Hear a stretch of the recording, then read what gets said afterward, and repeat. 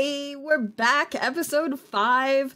Five more episodes until episode 10. That's about as far as my math skills goes. But welcome on in to Crosshair Conversations with Chrissy. I'm Chrissy. Again, if you don't know what this podcast is about, who I am, episode one will tell you all of that, as well as my socials, Chrissy HQ on everything. So definitely check that out.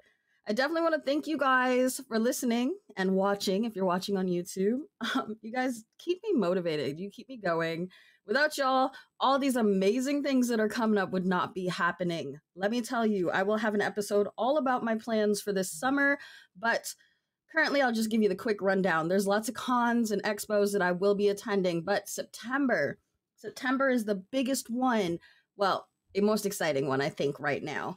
Liverpool, England. I will be there. I will be in Liverpool, England at the end of September for Format. It is a gaming social event uh, that your girl was invited to go as a content creator. So expect a whole lot of content from that because uh, I'm I'm so excited. I'm Chrissy HQ is going international, you guys. Like I okay, but as the dates get closer and summer goes by and different events pop up, definitely follow Chrissy HQ on all socials you will find all the information there.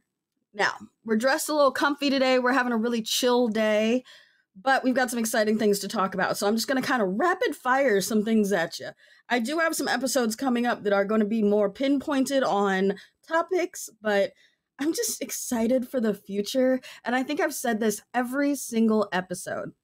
But let's let's get started. Let's let's rapid fire. Let's get it. First thing first, 2017 is when the Nintendo Switch was released, and it became the third top selling console uh, like immediately. I have one. I rarely use it, but I need to get better at that. But I do think it's pretty cool and I mean, I just I love I love all my consoles honestly, but the Switch is really cool. There's a fitness game that I need to get better at doing because it actually makes you work up a little bit of a sweat. But third highest top selling console, and that was 2017.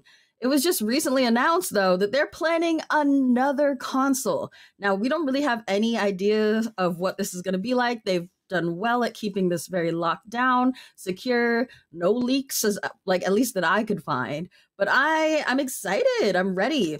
They're saying next year, so that's going to be 2025. Something new is going to drop. I will say my expectations for this are high. I do not know if they can just come out with another Switch type console. It's got to have something more. It's going to have to be able to be something that can compete. And who knows, maybe it's going to be something VR, you know, wrapped around. But I'm I'm excited for that, but my expectations are high. Next up, we have a company, right, with some new crazy tech coming, Ring. Now, y'all know the Ring doorbells. We've seen the funny videos or the, you know, the videos of people trying to break in or kids at ring doorbells, things like that. Everyone has one. The front door doorbell company camera thing.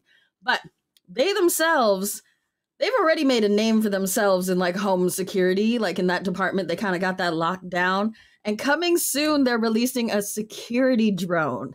Yes, a security drone that will hover around your house, like inside, through the air, just going room to room I think that is so sick. I I will be getting it. I don't care what the price point is. I will sell my soul. I'm getting it. Um, I love the smart home technology. I just I do. And the more and more it advances and the more we get, it's just so amazing. And I'm I'm excited for that. And that should be coming in 2024. Um probably at the end because we're not hearing much about it. They did talk a little bit at CES about it, but I'm I'm I'm ready. I'm so ready. Now, after that, we know that there are exciting things coming. We'll talk about more exciting things as well, but there are also some not great things. I know you've seen the layoffs, Microsoft, Riot Client, Twitch, so many other tech companies in the industry. It makes me wonder is the career like headed into a career that's tech based is that a safe idea? I currently I'm currently going back to school and I might actually be changing my major. Nobody nobody really knows this, but um, I was going for game programming, and I'm starting to think. I don't want to say it's a little bit over my head, but I don't think I have a passion for game programming. Game design, maybe something in the marketing. I want to stay kind of in the same realm of that, but I don't think that the initial programming is for me. But I am currently going back to school for it because I found out that it is one of my interests. And I guess it just worries me seeing all these layoffs. They happen every year, but it's kind of it's kind of increased in a rapid rate and it's kind of alarming to see this. Is it smart? Is it worth it to invest in an education in this industry where, you know, the regular 9 to 5 person's job in this industry is at risk at the start of every quarter? That's at least what it seems like. And we have to remember that these layoffs they're presented to us as numbers and stats, but they are also real people. If you go to TikTok right now and look up tech layoffs, there's thousands, thousands of people that have made TikToks about how this is their second or third layoff in the tech industry and they're not sure if they can keep doing this. And honestly, they've worked for this company, they've received the income, maybe benefits, and then to have all of that taken away. And I don't know, it's probably different for each company but I'm sure that you get some type of package at the end, but that's still such an uneasy feeling. We've all started a new job, whether in the same industry or not, different company or not. It's never easy. It's never fun. There are fun moments, but it's still you you want to have that security of having your job, knowing what it is and knowing that that's your job. Like I don't know. I think the tech industry right now and the past year is just it's making it look like a high risk, high reward type of industry. And for the high reward, some of us want to take that high risk, but I can see how it's looking less and less appealing every day. Now, another interesting thing back on the excitement of new products and new things coming. In the tech news this morning, I found out about WaterCube. WaterCube is a new device that was debuted at CES, which I still regret not being able to get to, but next year you best believe I will be there. But okay, new device. It's a machine that can create water out of air. Yep. It's being marketed where it can pull 110 gallons of water out of the air a day. And for the price point, we're looking at $20,000. Now, according to the company Genesis, Genesis says that the government has had access to this for a while, which I don't know. I feel like is kind of it's kind of scary. They were hiding it from us, but I, you know I digress. But it's just a high tech uh, dehumidifier. I don't know why I stumbled over that word, but it's just a high tech dehumidifier in my opinion. But it does also have the purification, like tech it included, which is really cool. I run a dehumidifier every summer because we get pretty humid summers and then a humidifier in the winter because the air is so dry. But my dehumidifier definitely fills up with disgusting water sometimes. It does not have the purification system, but it also isn't collecting 110 gallons a day. That would be crazy. So it's going to be interesting to see is the government going to allow us to use this? Like, technically, that's free water after that $20,000, which I know a lot of parts in the world uh, shoot america and more could use that. There that could, there could be a lot of use for a machine like this. But again are they going to allow us to use this? I don't i don't know. But with that there are other new products that are hitting the market all 2024 2024 is going to be huge for tech. For example there's a new ipad coming. Now i don't really know what the ipod tech is. ipad ipad not ipod i'm sorry I'm a millennial, but uh, I don't know what the iPads are like nowadays. I don't use an iPad, not an Apple person. If you missed the last episode, you know. But um, this new iPad hopefully should have new features. They haven't really released much about it. It does say it's going to have an OLED screen, which is going to be cool. But Apple is concerned that the production time is going to take too long with such a high demand. And you guys know I call them iSheep. A lot of people call them iSheep, and I hope you don't get offended by it. But iSheep are people that follow Apple above and beyond, no matter what they do. And you know that the iSheep are going to be in line at that Apple store as soon as the new iPad drops. So they're worried they're not going to be able to keep up because of the high demand that they're predicting. Now, on the other end of the scale, the Apple Vision Pro is failing. They're failing to sell out their pre order. And to be honest, I'm like I said, I'm not a huge Apple consumer, but the design of the Vision I think is I think it's pretty sick. I love the futuristic type look. It looks really really cool. but it's being reported that the headset is too heavy when being worn and is causing major discomfort. It's being reported that the hand tracking on the Vision Pro is not great. Like if you're typing, it's more of a finger poke situation because it cannot hand track for you to seamlessly type on like the virtual keyboard. That's kind of annoying. Some more things that are being said is that like Netflix, YouTube, Spotify, other apps like that that are pretty well known on every device, they have not created software apps that work with the Apple Vision Pro. So, something that we've been looking for is like wearing these headsets, these VR headsets, and watching movies, videos, reels, things like that. And if they don't have that ability, it's kind of a downside, you know? Also, with that being a downside, there's only a two hour battery time. Two hours might seem great to some people, but again, we're looking for Netflix, YouTube, Spotify, things like that. If you're watching a movie, like let's say off of one of their web browsers, since they don't have Netflix or YouTube, most movies are longer than two hours. So you're not really, you can't even watch a full movie on this. And the biggest downfall that's being reported now is the price point. Starting at 3500 to 3900 it's a very steep price for a device with so many negatives especially with the MetaQuest on top right now at $500. Major difference. It has the app capabilities that users are looking for.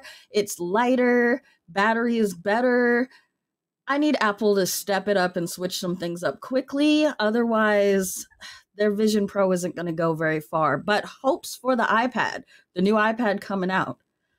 Now, for things that are working and always getting better, and a company that, in my opinion, just cannot fail, let's talk about Samsung. The Samsung 24 series is taking a huge leap into the future, and I'm ready.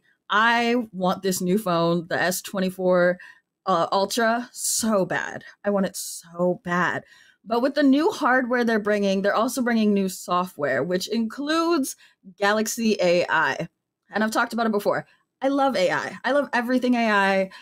I know it's scary. I totally get that, but I also can see how it can be so helpful to all of us in the future in business aspects, in everyday life. I just, I'm so excited. So, with this big new step into Galaxy AI, and as a fan of both AI and Samsung, I will be getting this. But Galaxy AI, what some of the things it can do. When you're talking on the phone, it has real time, real call translation. Meaning, if you're speaking to somebody who might be speaking a different language than you, in real time on the phone, it can translate. That's a game changer. No more language barriers when doing business calls or just talking to someone from another country or that speaks a different language. I think it's going to break the, like I said, language barrier and just make it easier and more comfortable to create relationships. And I love that. I love talking to people. Clearly, I love talking because I have a podcast where I just sit here and talk to myself and then you guys. But I think it's just going to open up a whole new world of different, I don't know, you meet so many more people now. That's so exciting. I'm ready. It's also going to include Magic Editor. Magic Editor is something I'm totally going to use. Obviously, I'm a content creator. I use my DSLR for a lot of things. But currently, my Samsung, I have an older Samsung, um, and for the first time in a long time, I've cracked the screen, and I don't really use my phone for content. I really, really like the feel of my DSLR, but if I had better, I guess, software or a, a more newer phone, I'm um, one of the more newer versions, I probably would use it a lot more.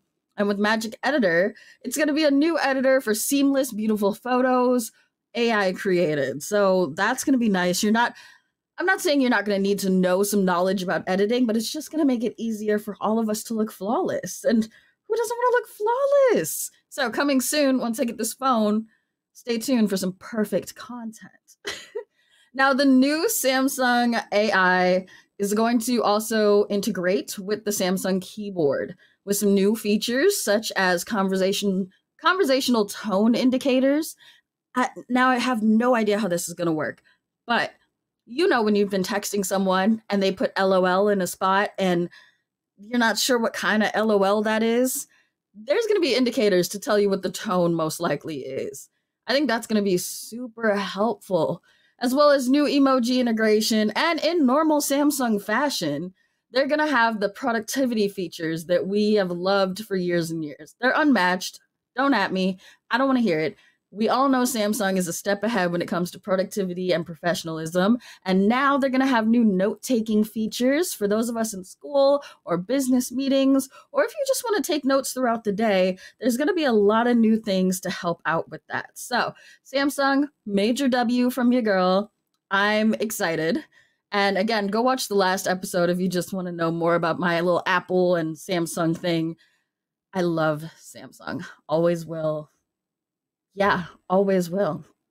So, last thing for us to talk about today. I know I feel like I might have rushed through this a little bit, but I just get so excited. But available on Steam, there's a new game. There's a new game after three years in the making, and it is called War Hospital. Now, War Hospital, you play as a British war doctor assigned to a field hospital, and the setting is like the First World War, right? Back in time. You're saving and rescuing thousands of soldiers, as well as controlling your staff so that you're running an efficient, effective hospital during war. Now, I'm not a huge fan of like healthcare games. I'm not a huge fan of war, I guess, in general either. If it's like the injury side of it, I just get the heebie jeebies. I'll never be a nurse. I can't do it. But I am curious to see after three years what these graphics will look like and how the reviews will do. So, best believe I'm going to be looking on Twitch for somebody that's streaming this, but it is on Steam and it just um just was released in the past week or so. If you find this game interesting, definitely drop in the comments if you're going to check it out. I would love to know how many people are into that. And looking forward to that, there are so many other games coming this year as well. Kind of a fun statistic I found Steam in 2023 released 14,535 new games. That's a 2,000 release difference from 2022. And I guess we can expect greatness coming for the next the next year. 2024 is about to blow those numbers out the water because in the first 4 days of 2024, 80 new games were released already on Steam in the first 4 days if they keep up with this trend, we will easily, easily be at 29,000 games by the end of the year. Now, we all know some of these are hit and some of these are miss, but if there are some that you've seen or you're excited about, also drop those in the comments below. I main Valorant and Call of Duty, a little bit of Overwatch, maybe Apex, sometimes Fortnite, but I'm always looking for something new. And I might even try it only once or twice, but if I don't know about it, I'm not going to be able to try it. So if you find anything new and exciting, drop those in the comments down below as well. Again, you guys, this is going to be an exciting, exciting year. Thank you so much for joining with a little rapid fire tech news. I'm Chrissy HQ. I'll be back for the next episode and every episode after that, and hopefully you will too. And yeah, thanks.